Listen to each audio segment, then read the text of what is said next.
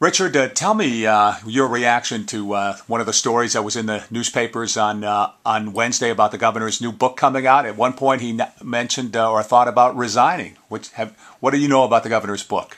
Well, just from what I've read, and you know, obviously, I think when you're somebody who transitions, um, particularly later in life, like he did, from the you know private sector uh, into the chief executive officer of a state, the governor uh, there was a lot of uh, there was a period where there was a lot of um, mistakes made, and it took him a while to get his footing. And it seems to me, you know, just from reading uh, the book, that you know those first six months of his term were uh, pretty turbulent, and they obviously took a toll on him personally as well as his wife. And um, I think, you know, obviously it was a tough transition for him, but obviously he's at a point right now where he was able to overcome it.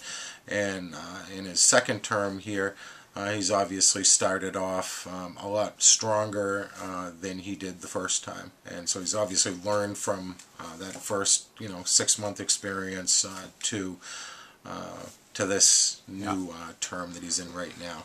Just as far as yourself is concerned, uh, legislator, senator for over 20 years, representing the North Shore.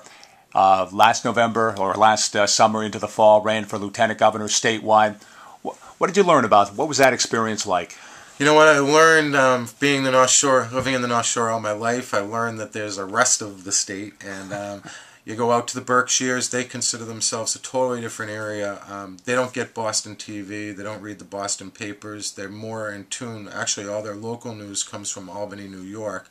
Then you go to Springfield, they have their own uh, affiliates for TV, they have their own newspapers. You go to Southeastern Mass, they're more Rhode Island oriented. Yeah, yeah. And so I learned that Massachusetts isn't really one, it's more like four or five different states that are all sort of cobbled together. And I learned that um, no matter where I went, all across the state, um, you know, it's a beautiful state. And um, the thing that, you know, there's um, all types of great natural resources. But the thing that was most, struck me the most is that the people of the state are really the most um, valuable resource that we have because we have like incredibly smart people, um, kind people, people make all kinds of things um, all over the place. Um, a lot of family-owned businesses. Very impressive and a, a great experience everywhere I went.